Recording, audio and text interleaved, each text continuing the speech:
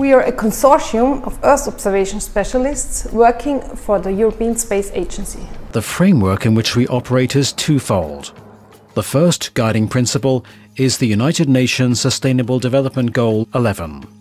Make cities and human settlements inclusive, safe, resilient and sustainable. The second framework is the Project Implementation Strategy in international financing institutions like the World Bank and other development banks. Our aim is to extend and improve the use of satellite data for the monitoring of indicators in order to reach Sustainable Development Goal number 11. We also want to facilitate international development work in a globally consistent manner by using Earth observation data and methods. We have covered 32 cities around the globe with a total of more than 510 products and 11,000 square kilometers mapped. Our basic products comprise status and evolution of urban extent, as well as land use and land cover and its change over time. More specifically, targeted maps include slum maps, maps of open and green spaces, building footprints and heights, infrastructure, as well as hazard and risk maps. Based on these maps, we generate spatial analytics and the before mentioned indicators for SDG 11. These tools are uh, very much uh, relevant because they provide evidence. In general, the preparations of bank operations take several years. But in this case, it only took around six to eight months for the preparation. Thanks to the whole analytics, maps, and data evidences. The best part is that it was helpful to communicate with various stakeholders on the ground.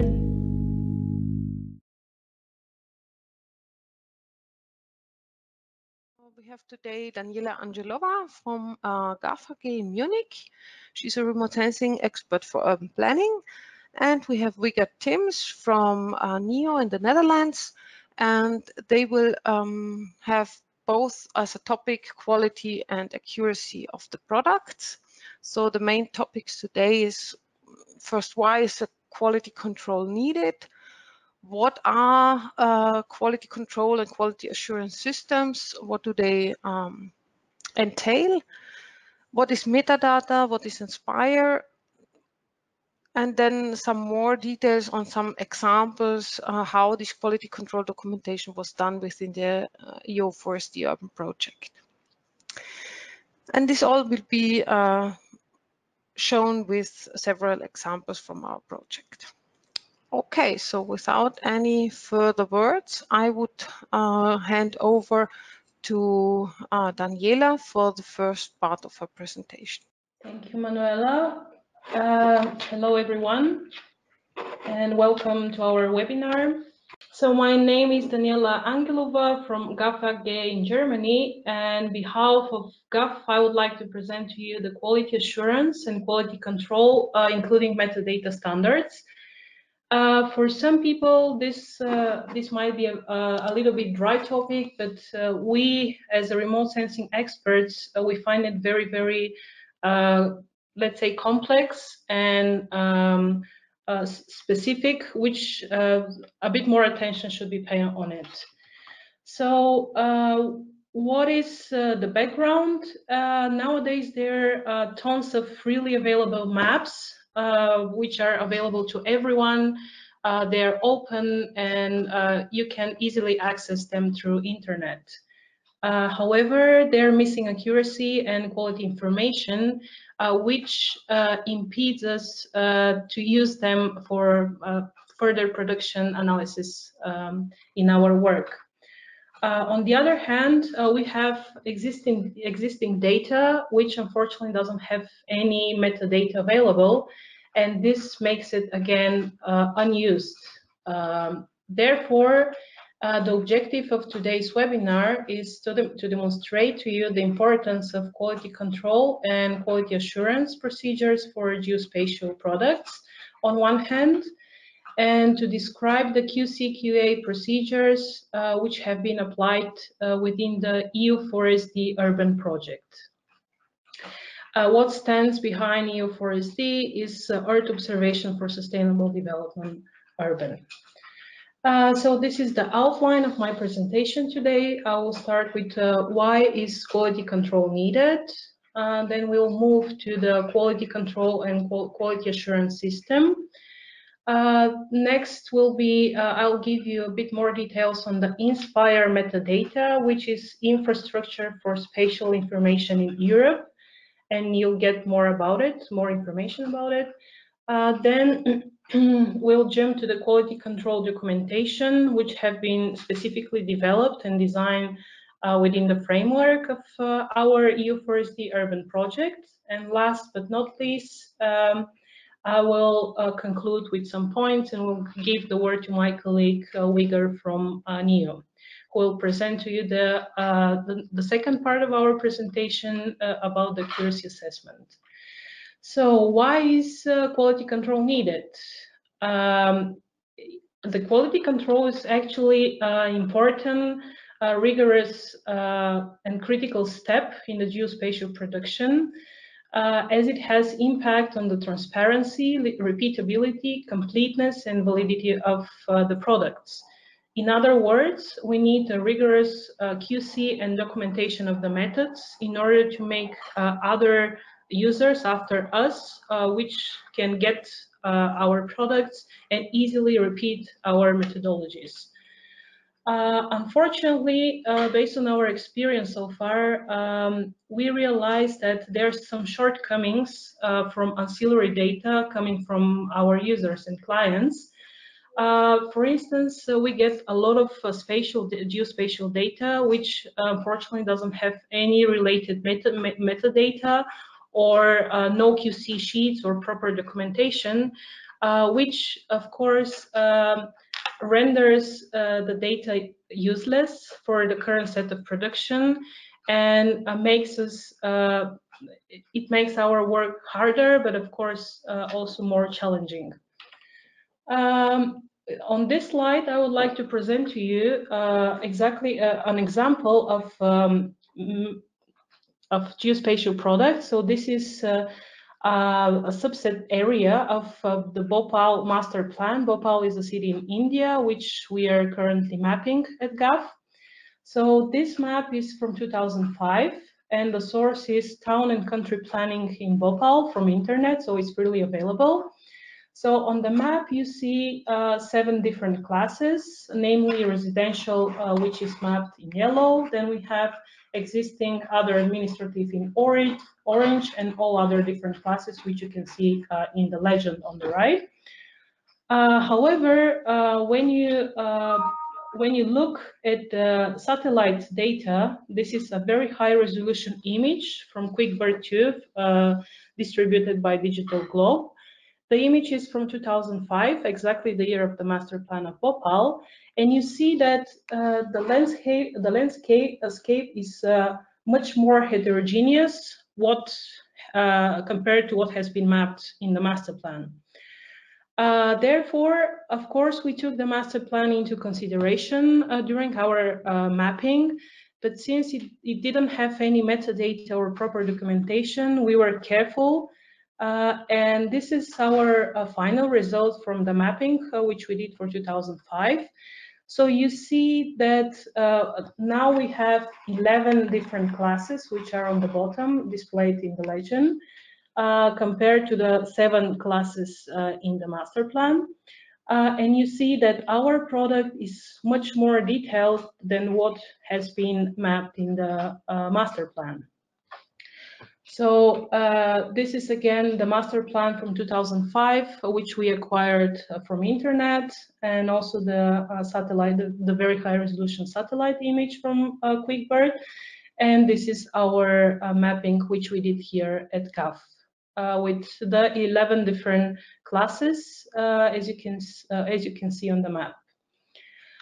Uh, another good example of why is quality control needed. Uh, so this is uh, um, a part of the transport network of Dodoma, another city in Tanzania, which we mapped uh, last year. Uh, and this is uh, this transport network shapefile has been delivered from the stakeholders in Tanzania to us. And of course, uh, unfortunately, it didn't have any metadata or proper documentation so that we know when was mapped, what is the accuracy, what is the quality of this map, so that we uh, know uh, how credible is uh, for our purpose, whether we can rely on this map or not. What we did, so we had this ancillary data uh, received from the stakeholders in Tanzania, and uh, we just overlay it with a very high uh, resolution image from Pleiades, uh, 1B uh, satellite. Uh, so this uh, very high resolution image is from 2016. you see on the bottom right from 30 of May to the 2016. And you see that actually the ancillary data received from the user, it has some slight discrepancies when it's overlaid on the VHR image. So what we did, we cleaned this ancillary data, the shapefile from the user, and uh, we use it, let's say, as a back, um, as a skeleton, and we adjusted according uh, to the uh, satellite image. So this is our final result, a result of the transport network of Dodoma, which has been developed within the framework of our project. And the accuracy that we got is 97.4%. Uh, maybe you'll have questions how this accuracy has been done. Uh, this is uh, this will uh, explain you further in the second part of the presentation. So um, the EO4SD urban uh, quality control process, uh, it, include, it is a system which is part of our project and it's available to all users and counterparts. What does this QC-QA system do? On one hand, uh, it records and documents all quality relevant processes, uh, which are ranging from agreed product requirements, different types of input data and their quality. And on the other hand, uh, it uh, records the subsequent processing and accuracy assessment steps. Uh, in the next slide, I'll show you, um, I'll just go to the next slide and you'll see what I mean. Uh, so the quality, the QC Q&A system, the main goal of it is to verify the completeness, the logical consistency, geometric and thematic accuracy, and also to verify that metadata follows all, all ISO standards uh, regarding geographic data quality and INSPIRE data specifications. So uh, to give you a better overview of what I mean uh, with uh, all those bullet points, um, so we start with the user needs, uh, needs and standards, and we specify, let's say, a portfolio of products which the user needs. Then, uh, of course, based on the uh, product uh, product specifications, uh, we um, or acquire the data, and we also get all ancillary data from the, which is available from the user, such as topographic maps, uh, existent land use land cover maps, um, let's say them as well, uh, digital elevation model, and all different uh, shapefile with uh, with points like hospitals, schools, or whatever. And the first thing we do is, of course, uh, we control the quality of this data in order for us uh, to know how credible is it, it is, and to, uh, to further proceed with the pre-processing of this data. So once we quality control the data input, uh, we go to the next step, which is the pre-processing. Uh, we uh, we pre-process the data, and once we do the quality control on the pre-processed data, we are ready to uh, start the mapping activities, which is the third step uh, in uh, in my figure, the thematic processing. When the thematic processing or the so-called mapping activities are done, of course, we do, uh, again, a QC, intermediate QC step uh, in order to be able to go to the analysis and the, and the modeling work. So uh, within the analysis and modeling work, uh, this step includes all the statistics and uh, further spatial analytics which have been um, required by the user. Uh, then, um, last but not least, uh, after we implemented all those intermediate quality control steps within uh, during the period of uh, the different elements uh, of our QC Q&A system. We validate the overall product, and then we deliver it to the user. Um, let's go further and uh, tell you a bit more about the INSPIRE metadata. So uh, INSPIRE stands for Infrastructure for Spatial Information in Europe and has been developed by the European Commission. So the metadata um, in general provides additional information about the delivered product to, to be better understood. Uh, what is the metadata uh, within our EO4SD Urban project? Uh, it's um, I'm sorry. Uh, it's a unique advantage uh, from our side that we within our project we developed a harmonized approach to provide a core set of metadata elements together with quality assurance and quality control sheets uh, which are part of all the delivered geospatial products to the end users. So it means that uh, after each of the products within our project uh, is uh, are developed and generated, um, we have a thorough um, quality control. And once uh, we have um, good results from this quality control, uh, we are able to forward it to our user. Uh, the data format of the metadata, it's always provided as an XML file, uh, which is compliant with the ISO standard 19115 and also 19139, the, uh, the so-called metadata and XML uh, scheme implementation. Uh, the mini minimum required information for the generation of a metadata XML file has been specified by, by the European Commission with the following regulation, which you see on the slide, uh, on December the 3rd, 2008, and it contains 10 uh, different elements. So this is uh, this is the initial page of the INSPIRE Geo, Geo portal, and you see on the bottom of the toolbar the 10 different elements which uh, has to be completed by the GS um, producer uh, in order to have uh, an XML file at the end.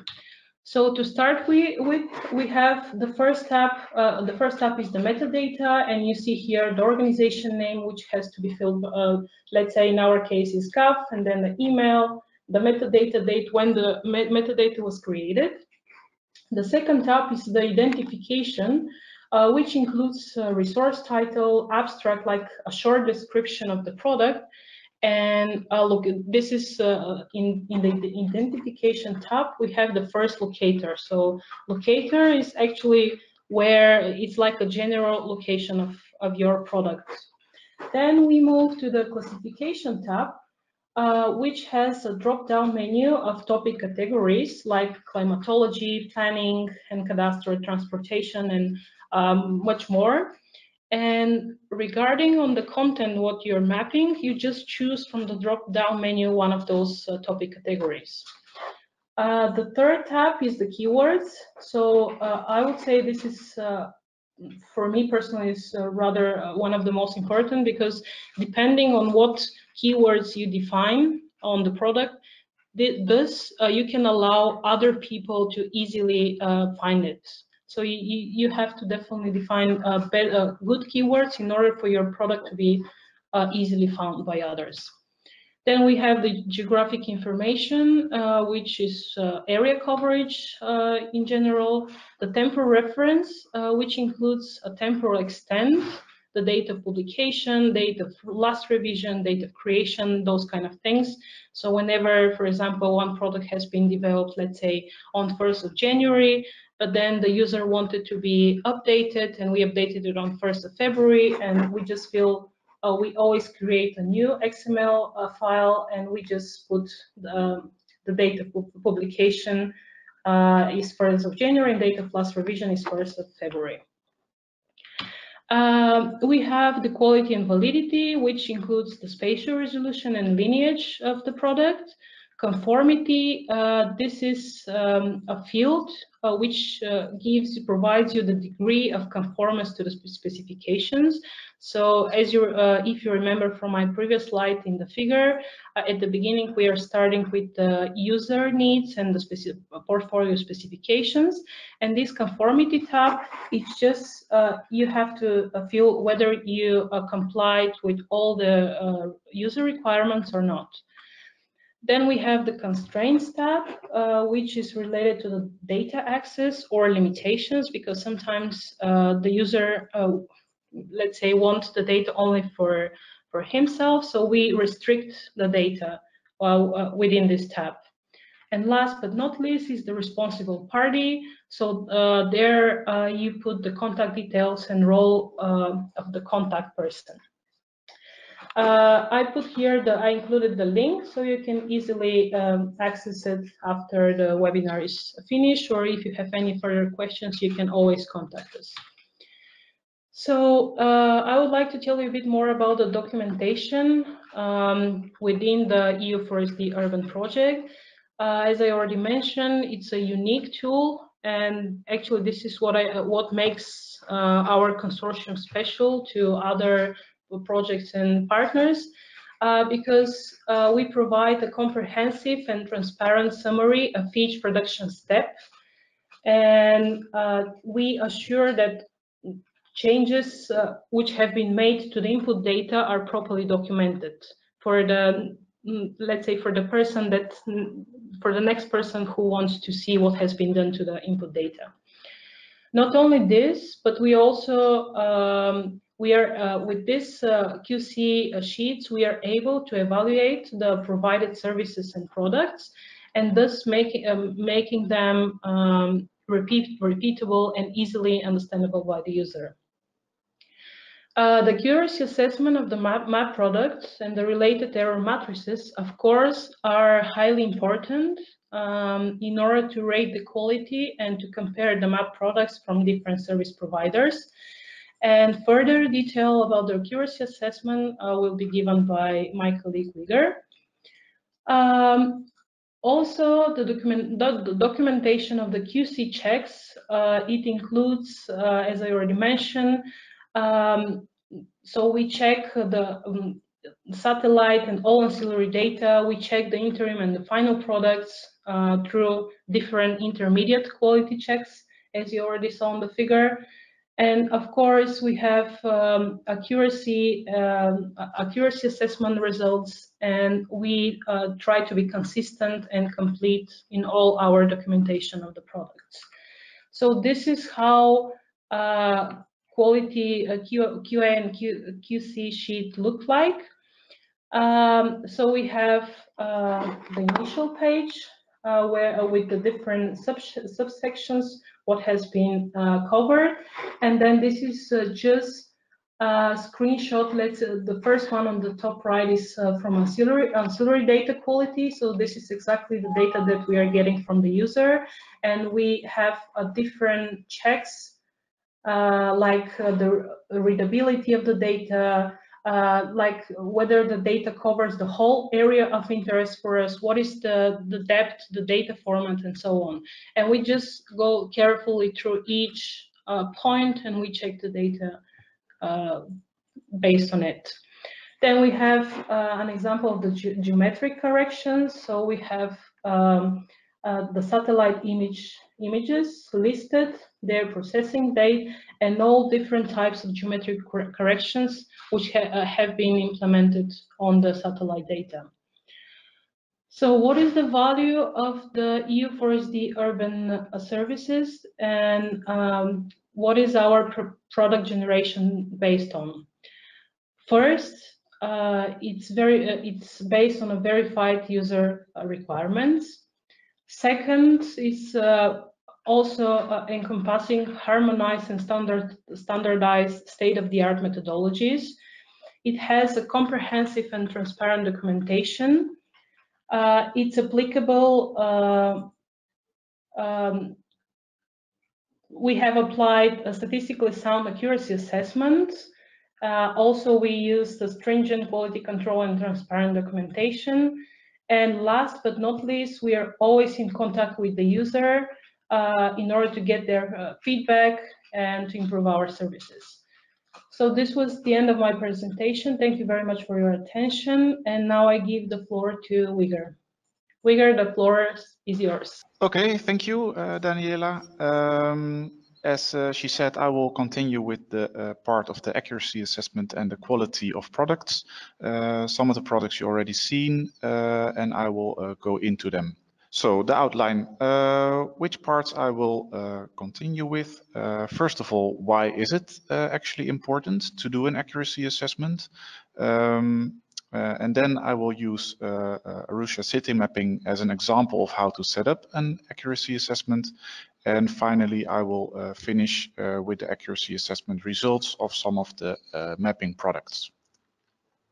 So why is accuracy assessment important? Um, spatial data and maps, such as provided by the corporation, are increasingly being used for decision making. Um, if you do that, it is very important uh, to be able to estimate the accuracy of the maps. Can I use this map or can I not use this map for a specific uh, purpose? Uh, as an example that uh, not all data is always uh, as good as you expect, um, even uh, well-known products can have a low accuracy.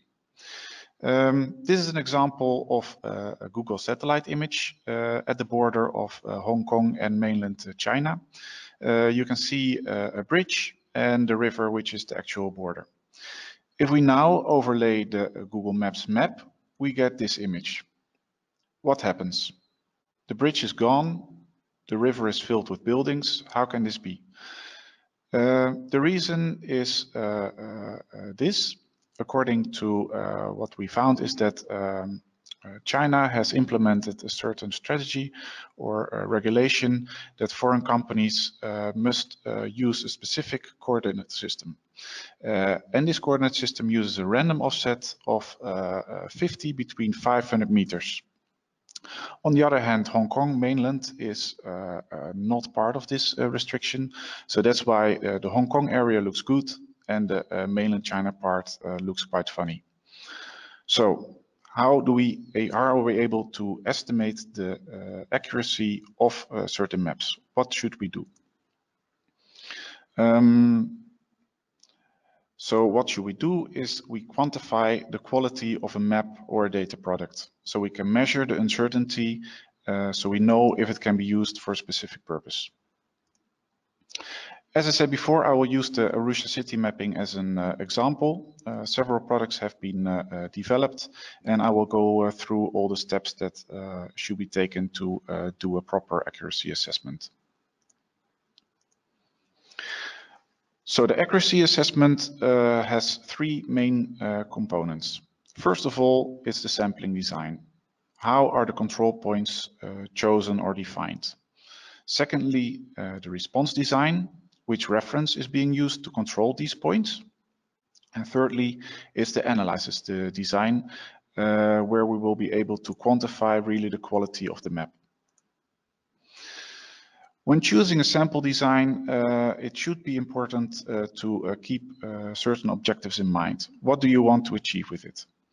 So four things that uh, can be thought about is that the sample should provide information that is representative to the total population of your map.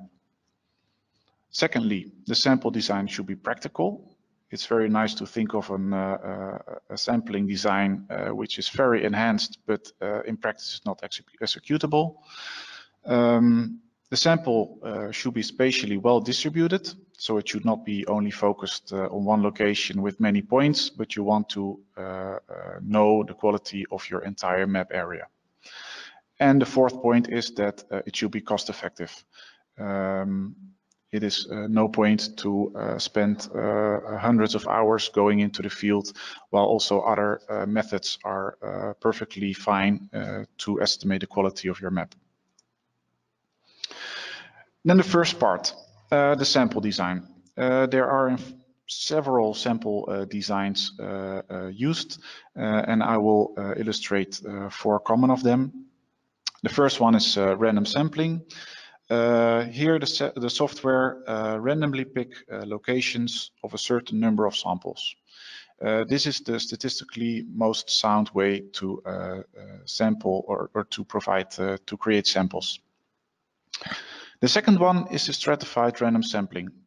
this is more or less the same as the random sampling. However, a number of samples will be picked per strata. A strata can be seen as a class in your map. So for example, agriculture, uh, water, or natural areas. So for each of them, you choose a number of samples that you want to select. The third one is the systematic sampling. Um, here they are evenly distributed over the area, as you can see. So the distance between the points uh, is the same. Uh, advantage is that your entire map can be covered. Um, but uh, it's, for example, not sure if you have uh, exactly the same number of points uh, for all the classes, if that is something you want. The fourth one is cluster sampling. As you can see, there are certain clusters in which uh, samples are located. Um, big advantage of this is that uh, you can, for example, choose the location of these uh, clusters, which are easily reachable. Um, uh, Uh, if you want to do uh, uh, field work, for example, to uh, get uh, information about your data. Um, but of course, uh, statistically, this is a less uh, sound uh, method. For the Arusha city mapping, single stage stratified random sampling was, was used.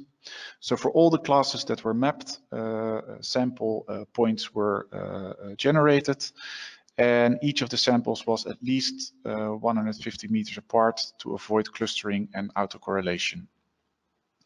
Uh, the following uh, uh formula was used to calculate uh, the sample size for uh, all the individual strata and an additional 10% of oversampling was applied to compensate for stratification inefficiencies and potentially inadequate samples. So for example, clouds on an image or uh, shady areas on an image uh, which are not uh, possible to, to interpret. This is the result of the, the sample sizes for, the, for the map. as you can see, all the classes are, are mentioned. Uh, and the number of sampling points that were uh, generated for each of these uh, classes. If you then distribute them over the map, it looks like this. So again, all the classes and all the validation points uh, are there. So they're uh, randomly uh, selected, but taking into account that there are different strata or classes.